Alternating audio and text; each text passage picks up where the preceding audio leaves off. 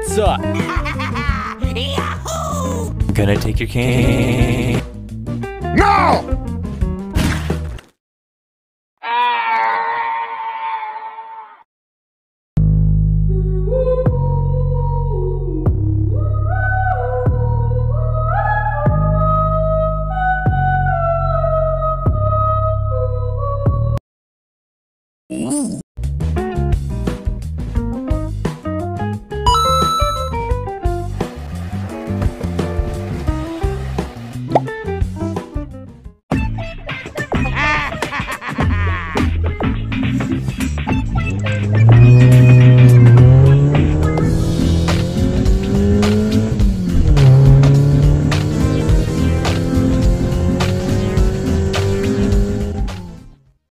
Two hours later. That was delicious!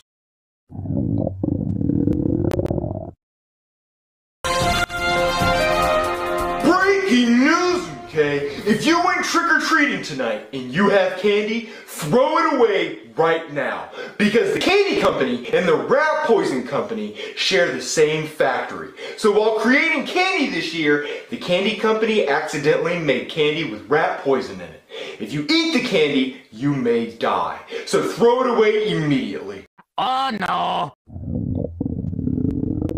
Oh my god!